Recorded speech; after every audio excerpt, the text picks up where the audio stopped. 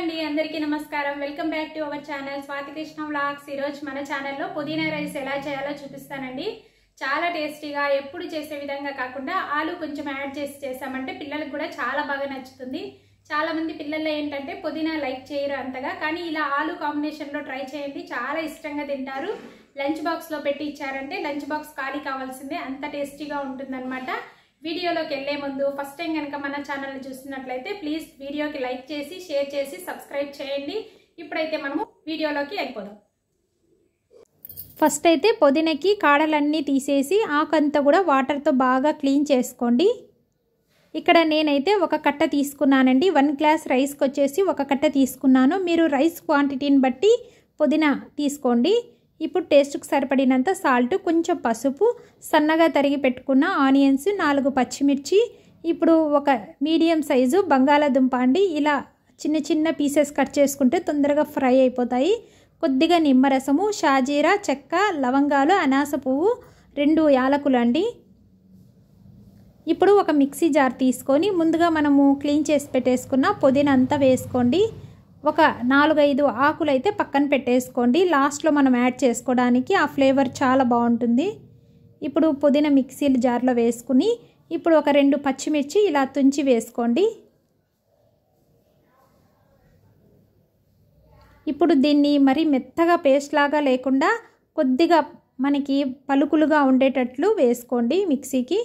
ఇప్పుడు ఇందులో కొద్దిగా పసుపు అలాగే కొంచెం సాల్ట్ వేసుకోండి. వేసేసి దీన్ని మిక్సీకి పట్టేసుకోండి.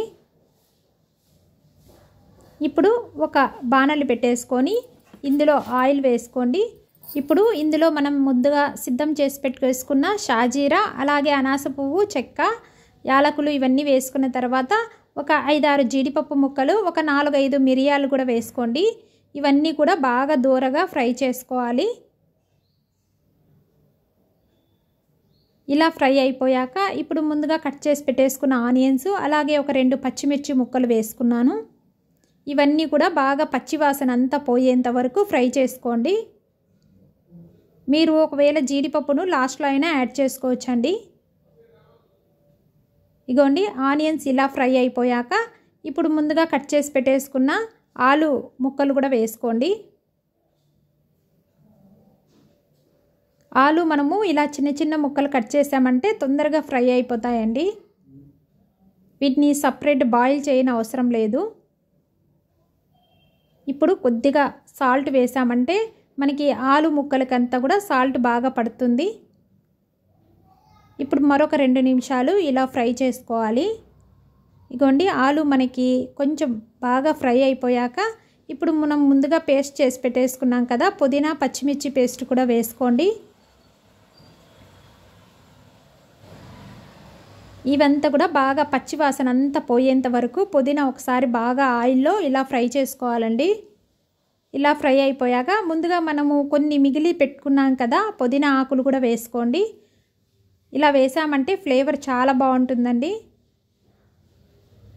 మనకి తినేటప్పుడు కూడా కొంచెం ఆ పుదీనా ఆకులు తగులుతూ ఉంటాయి.